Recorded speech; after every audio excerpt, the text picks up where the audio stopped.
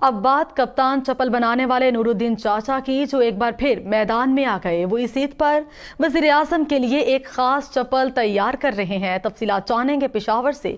مسورت اللہ جان کی رپورٹ میں۔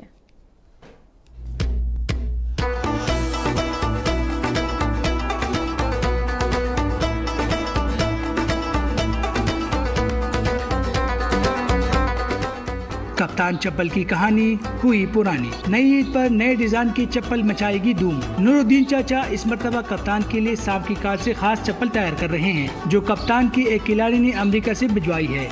جو چپل بنتے ہیں یہ بہت اسپیشل بنتا ہے۔ اس میں جو کال ہم لگاتا ہے، ایک چپل سام کا لیدر ہے۔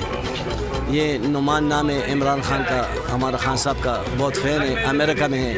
اس نے ایک چپل کا یہ لیدر بھیجا ہے۔ سام کی کال سے بنی چپل وزن میں تو ہوگی بہت ہلکی مگر قیمت میں باری بار کم ہوگی۔ اس چپل پر تمام کام ہاتھ سے کیا جائے گا؟